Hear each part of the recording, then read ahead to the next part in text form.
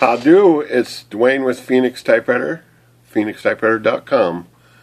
We've got a Selectric 2 here we were uh, cleaning up, servicing, and it's got a rattle. You can hear it. It's off right now. I'm going to turn it on.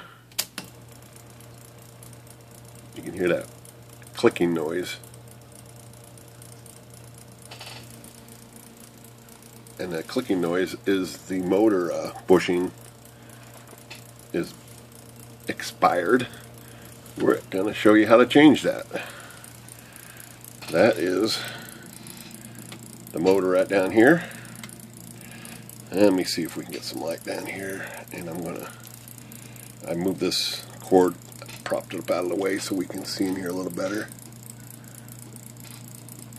I'm going to show you how to change this. I've got a little light here I'm going to shine right on the clutch there. That's the motor clutch. That's the belt. And there's a retainer clip. And what we're going to replace is this small piece of plastic right here. It's called a bushing. You can barely see it. But that's going to get replaced. I'm going to set that right there. Let's turn this off. Try to get the camera down a little lower, maybe. Okay. So what we need to do first is take that retainer off.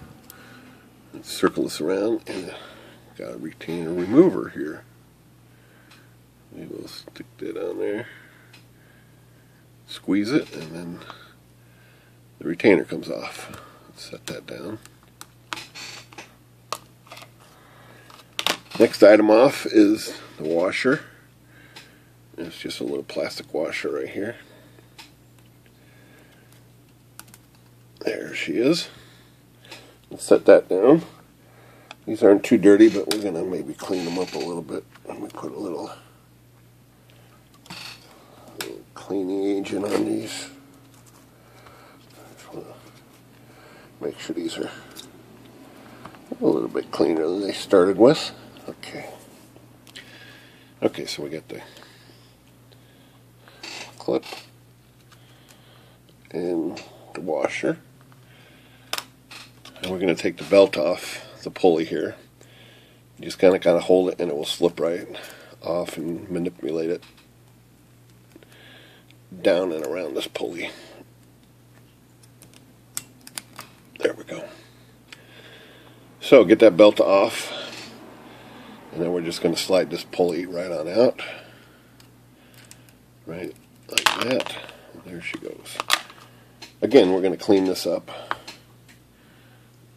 Let me uh, agent right down in here. We will clean this part, clean down the shaft here. Get this all cleaned out. Get all the old oil out of here. Stick something down in here like this. This camera's kind of close. I keep bumping it. Sorry. Jeez. Okay. So make sure this is cleaned out. You want it to be. Sometimes this actually get rusty inside of here too. So you might even put a piece of sandpaper in there and sand it slightly. But usually just cleaning it like this and drying it will get it clean enough. And make sure your grooves are all clean. Okay. Take that little piece that we had here, which is kind of hard to see. It's right here. And what you do is you twist this make a little circle with it and stick it in there. So, so it's folded up inside of here. And when it's in there right, it goes right to the edge of the side, right to the edge of that side, and it fits and you can't even see it. It's you can kind of see it in there. Okay, next thing is uh, clean this shaft off. So, same thing, we're going to Get a little bit of cleaning agent in there. And I'm going to just do my little trick here, turn it on, and clean that shaft thoroughly. Make sure it's not rusty or anything on that that we got to worry about. Next thing is lubricate it. Put some nice, I use the Miracle Mystery Red Oil. Works wonderful. Next thing we're going to do is slide the pulley back on with the new plastic bushing in there. When you stick this on, you've got to kind of flex this motor out a little bit to get it to to get it to go down the shaft. There it goes. And when you get it in here past the edge here, make sure that bushing stayed in the side of that, which looks like it's poking out. You can push it in a little. Why it's why the belt's off it, you can make sure that bushing is all the way in there. I'm gonna shine the light there and put some glasses on and make sure it's in there. It's good. Clean this piece off, okay. Okay, next thing is to put the belt back on.